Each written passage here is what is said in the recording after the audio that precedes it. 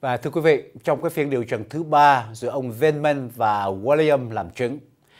vào sáng ngày hôm nay 19 tháng 11 thì Trung tá Alexander Venman và bà Jennifer Williams, cả hai người đã lắng nghe cuộc à, điện đàm vào ngày 25 tháng 7 giữa Tổng thống Donald Trump với Tổng thống Ukraine là ông à, Volodymyr Zelensky đã ra làm chứng tại phiên điều trần luận tội của Hạ viện khi một cuộc điều tra ngày càng à, tiến sâu hơn vào trong tòa Bà Đốc. Trong phiên điều trần, cả ông Venman, chuyên gia hàng đầu của Ukraine trong Hội đồng An ninh Quốc gia và bà Williams là cố vấn đặc biệt về châu Âu và Nga cho Phó Tổng thống Mike Pence đã nói rằng cuộc à, gọi điện thoại này khiến cho họ phải lo ngại.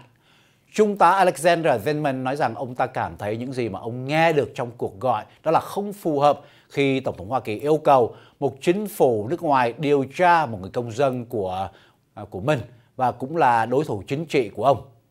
Bà Jennifer Williams thì à, nói rằng cuộc điện đàm vào ngày 25 tháng 7 giữa Tổng thống Trump và ông à, Zelensky không bình thường vì nó dường như có liên quan đến một vấn đề chính trị ở trong nước.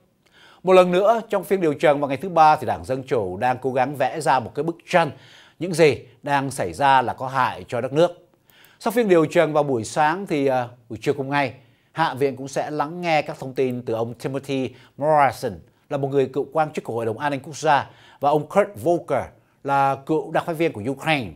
Được biết, các phiên điều trần này được truyền hình à, trong vòng mà 3 ngày à, sắp tới và có thể sẽ được quyết định liệu rằng những người buộc tội ông Trump có thể khẳng định được rằng ông đã lạm quyền để mà gây sức ép đối với Ukraine để nhằm thu lợi về mặt chính trị hay là không.